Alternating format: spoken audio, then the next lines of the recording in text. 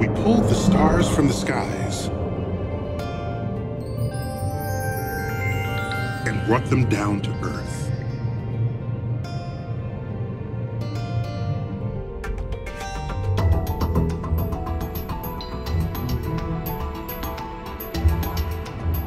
But at what cost?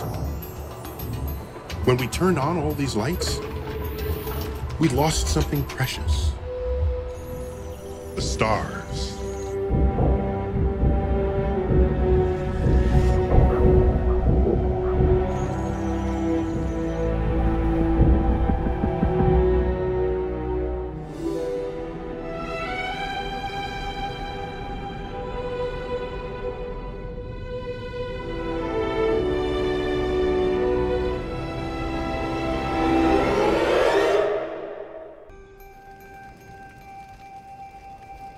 But a long time ago, in a world lit only by fire, our relationship with the stars was far more personal.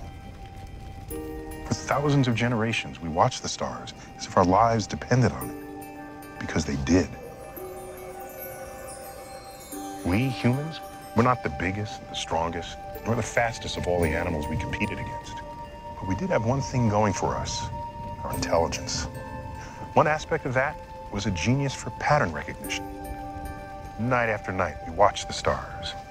And over time, our ancestors noticed that the motions of the stars across the nights of the year foretold changes on Earth that threatened or enhanced our chances for survival. In a time when our imaginations were the only stage where stories came to life, before there were movies or TVs or electronic devices of any kind, every human culture connected the dots to form their own pictures. These images became the illustrations of a storybook that, on a deeper level, was also a survival manual.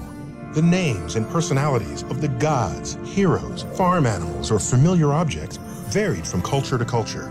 But there was one particularly gorgeous group of stars. Known to the ancient Greeks and to us today as the Pleiades. A star cluster formed about 100 million years ago each of them is some 40 times brighter than our sun.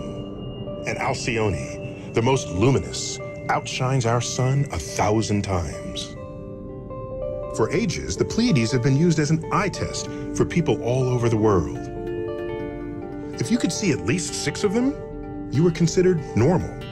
If you saw more than seven, you were an ideal candidate for a warrior or scout. Among the ancient Celts and Druids of the British Isles, the Pleiades were believed to have a haunting significance.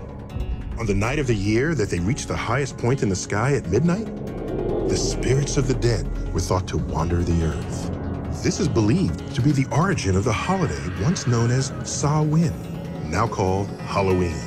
All over the earth, our ancestors told wonderful stories to explain how the Pleiades came to be in the sky.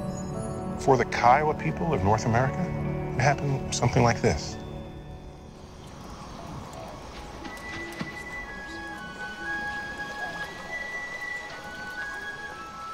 Long, long ago, some young women snuck away from their campsite to dance freely beneath the stars.